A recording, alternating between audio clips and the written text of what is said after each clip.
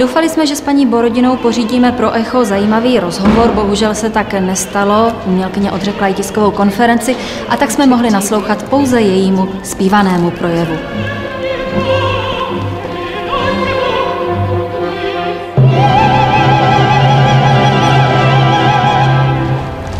Direktor do festivalu, já spojte, ještě ruchu na šelu, já stále. Ještě ruchu na šelu, já stále. Ještě ruchu na šelu, já stále.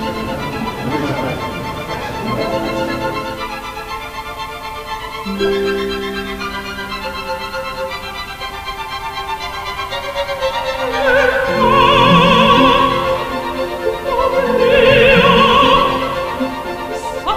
Olgu Borodinu doprovodila Pražská komorní filharmonie v čele s dirigentkou Carolyn Wilson. Tato dáma v minulosti řídila třeba Lipský Gewandhaus Orchester nebo Vídeňské filharmoniky. Have you ever before cooperated with Olga Borodina and how do you enjoy your common concert? Well, Olga and I have known each other for many, many years. We have a common uh, passion, which is Russian music, of course. That's since she was a child. I have developed a, a, a, passion for Russian music in the sense that I'm part Ukrainian. So, anyway, we have met uh, just in the musical scene many years ago and started collaborating a couple of years ago. We've had concerts in Madrid and at the Teatro Real. We did a gala concert just like this, as well as in Valencia.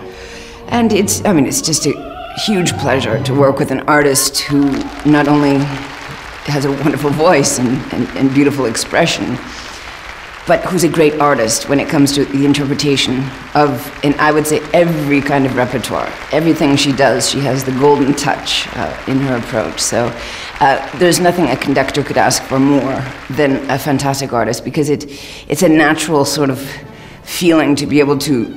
Uh, take from her all the emotion and channel it through you to the orchestra. So it's, it's very comfortable. And I can also add that with the Czech Philharmonic, it's been extremely pleasurable because they, they also have an immediate response to her, and, and it, has been a lot of fun with them.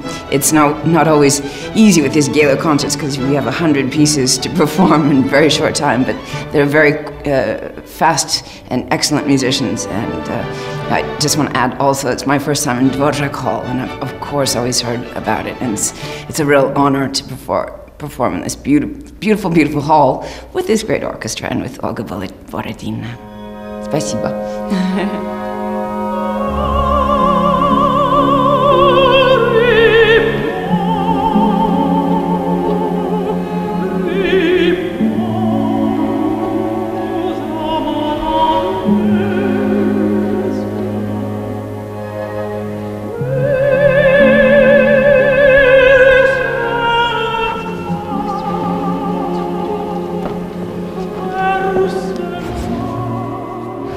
как вам сказать?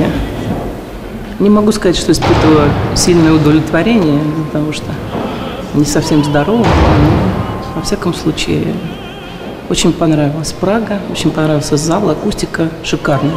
Нужно сюда приехать снова, чтобы оправдаться перед публикой уже в здоровом состоянии.